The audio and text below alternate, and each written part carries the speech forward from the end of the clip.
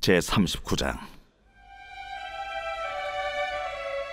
그때에 발라단의 아들 바벨론 왕 무로닥 발라단이 히스기야가 병들었다가 나았다 함을 듣고 히스기야에게 글과 예물을 보낸지라. 히스기야가 사자들로 말미암아 기뻐하여 그들에게 보물 창고 곧 은금과 향료와 보배로운 기름과 모든 무기고에 있는 것을 다 보여 주었으니 히스기야가 궁중의 소유와 전 국내의 소유를 보이지 아니한 것이 없는지라 이에 선지자 이사야가 히스기야 왕에게 나와 묻되 그 사람들이 무슨 말을 하였으며 어디서 왕에게 왔나이까? 그들이 원방 곧 바벨론에서 내게 왔나이다.